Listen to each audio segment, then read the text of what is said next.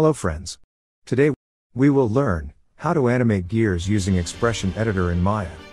We have these four gears to animate. First, freeze the transformation, center pivot and name all the gears properly. Open the Expression Editor and select Wheel 2 Rotation Z to copy the text in the expression. Wheel 2. Rotate Z equals Wheel 1. Rotate Z.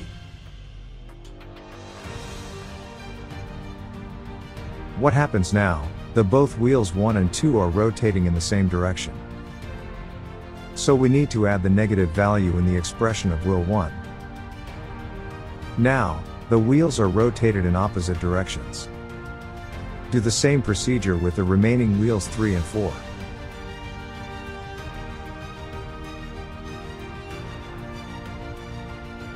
It's done, thank you for watching, like share and subscribe for the motivation.